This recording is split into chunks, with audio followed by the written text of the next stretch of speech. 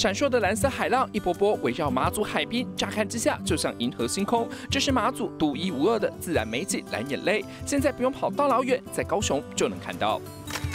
余温抽水机旁出现两个超清楚的蓝色光圈，伴随暮色，让人直呼超美。但这可不是 LED 灯，而是货真价实的蓝眼泪。我会觉得说，是不是水车没有装那种蓝色的 LED 灯光啊？然后我就我就自己拿根竹竿上去给它拨动一下，发现连鱼。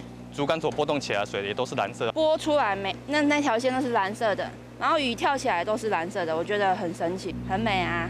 位在高雄永安弥陀交界的这个余温，上周日突然出现蓝眼泪景象，把它和马祖的蓝眼泪比较看看。马祖蓝眼泪因为夜光虫发光，让海面犹如一片蓝色海洋。高雄这个余温则是采活菌养殖，水质干净，适合浮游生物增长。推测可能是水质优氧化，让荧光藻大量繁殖，受到惊吓才会产生犹如蓝眼泪的景象。只要有手伸到的地方，或者是用棍子搅搅到的地方，都会发出蓝光。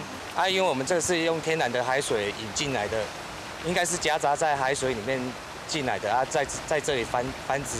高雄渔温出现蓝眼泪，到底成因为何，有待专家鉴定。但媲美马祖的梦幻景色，已经引来不少网友预约朝圣。记者赖威佐、林正和陈昭虎 SNG 小组高雄报道。